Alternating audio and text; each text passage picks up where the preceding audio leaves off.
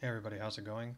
Welcome back for part three of our Hartree-Fock program coding. Um, today we're going to be coding the electron nuclear attraction integral. If you're new to this channel or if you're just stopping by, please subscribe to my channel. I have a lot of videos coming out and I want you to get them first and um, you know follow along and we'll get to know each other and we'll do we'll, we'll be doing great things. So uh, in previous videos, we coded the overlap integral and the kinetic energy integral for our Hartree-Fock program. We decided to go ahead and do the program for um, only involving s orbitals for now. So later, after we do the entire program, we, we will come back and do it for p orbitals.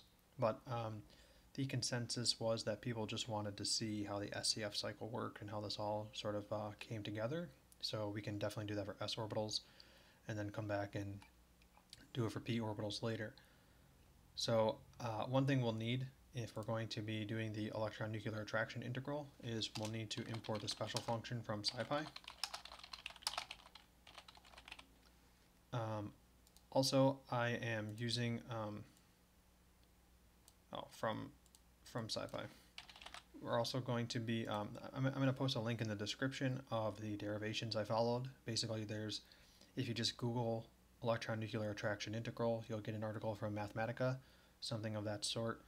Uh, it's basically all right there. Uh, the question is then, how do you put that into code? And so if you go through that and you read it, you'll see that most of the math is actually for these angular momentum terms.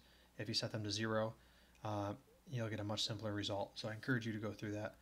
Um, so let's go ahead and make a, uh, a new cell, and we're going to call it um, electron nuclear attraction. And it's going to take our molecule, and it's also going to take, um, I'll call atom coordinates and z. Now, if you've been following along, uh, one could get the atom coordinates from the primitive Gaussian class. Uh, that's one way, but we're actually going to just give them here as well. And so like I've been saying this whole time, this code is not meant to be you know a lean machine. It's not meant to be you know fully optimized and working really fast.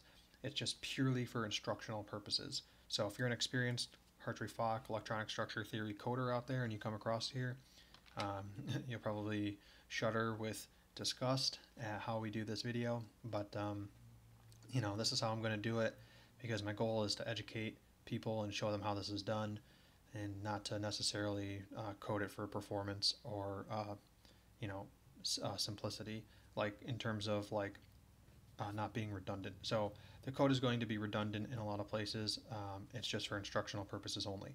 So here's our electron nuclear attraction integral. It's going to take molecule which is a list of basis functions which themselves which themselves are a list of primitive Gaussian class members. It's going to take atom coordinates. It's going to take z values which are the atomic numbers. So what we do actually, a lot of this integral uses uh, stuff from the kinetic energy integral. So let's go ahead and copy that here. Okay, very nice. Um, now what we're going to have to do is define something called n atoms.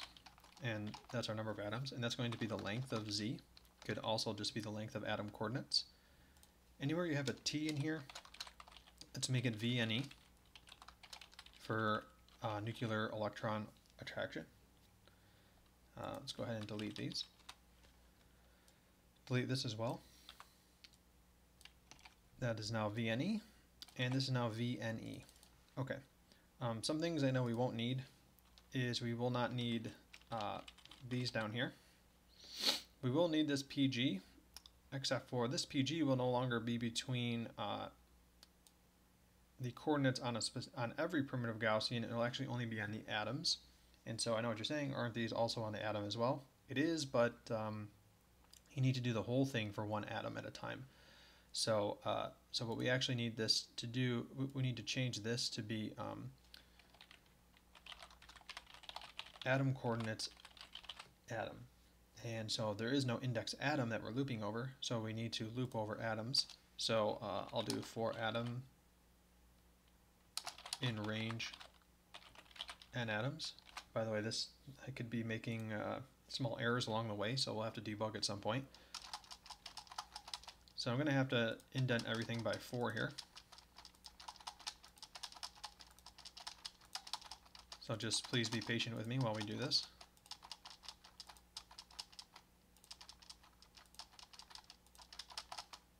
Yes. Uh, then we're going to need to take the uh, absolute value squared of this. That can be done by doing the dot product. So numpy dot pg pg. Let's go ahead and save. Um, this s thing, we can get rid of most of this. We're going to need to keep this part here for sure. Uh, in front of all this, though, we're going to need minus z atom. That's the atomic charge on, or that's the uh, the z value of the atom. So uh, sort of atomic number. Um, we're also going to need, uh, now if you follow the derivations, we get this term here. It's going to just be uh, 2 times pi over p. Okay, very good. And then uh, all we need after this is just something called the Boys function. The Boys function takes as arguments two things. Uh, one of them is going to be p times this pg2, and then um, the other one we're just going to have a 0. So this is actually based on the angular momentum value, um, and it's 0 here because uh, we're only doing s orbitals. Uh, at a later time, this will not definitely not be 0. This will be uh, uh, like 1, 2, you know, something like that, some, some angular momentum term. Um, so now let's define the Boys function. This takes x and um, I'll say just n here, okay? So, um, which we have is 0. So if x equals 0, because the Boys function is not defined at 0, so you have to do some procedure where you like Taylor expand at 0, uh, and here we just keep the first term. So we're going to return 1 over 2 times n plus 1. So that's that's if x equals 0. Else, uh, we are going to return, and now this is where you need a special function. So we have this first thing here, okay, and it's just like this. This is just basically from the derivations, okay. Uh, and then there's this other gamma function, which is uh, probably the gamma function everybody is more uh, in tune with. And then it's times this sort of prefactor. It's going to be 2 times x raised to the n plus 1 half. And I'm just checking these uh, parentheses to make sure this works fine. So uh, pretty much that is it. Um, how you realize to get here is through much struggle going through the derivation, uh, but pretty much this is this is just it. Um, now what we have to do is basically be able to call this function. So we're going to call this function from down here. And again, this could be littered with uh, small errors, so for now, let's just assume it's right. This s can actually just go, we don't need that.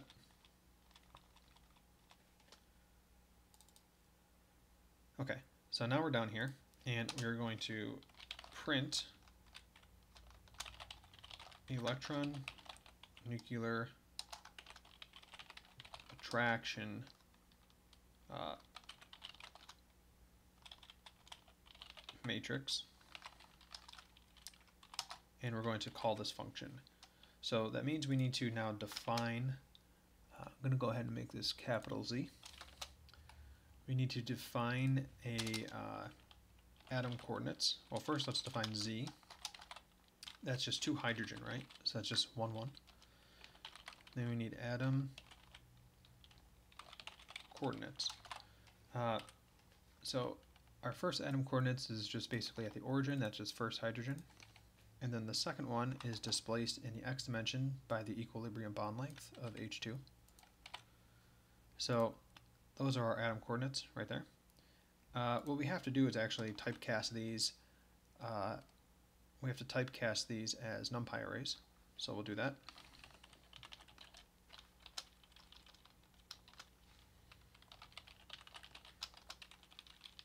Okay.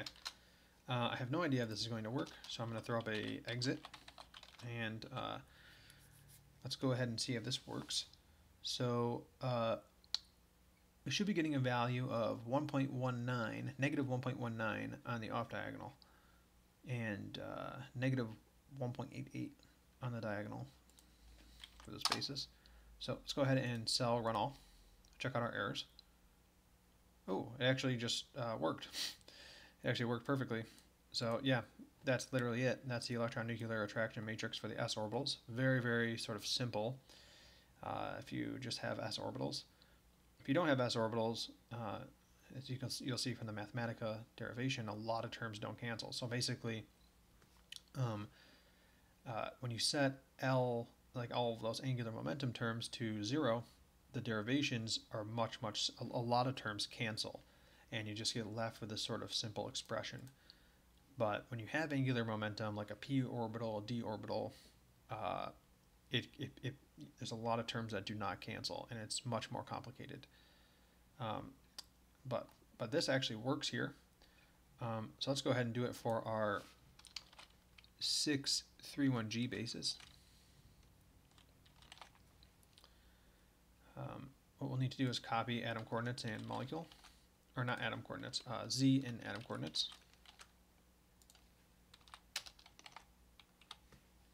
Okay, so let's go ahead and press run. So yeah, basically there, there you go. Um, that's basically it. Uh, now, what we could do is set this up for water.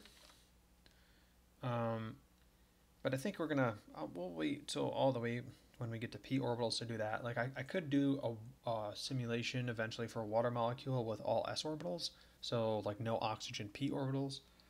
But that is a little strange, uh, but but it should be doable. We can also do um, helium hydrogen.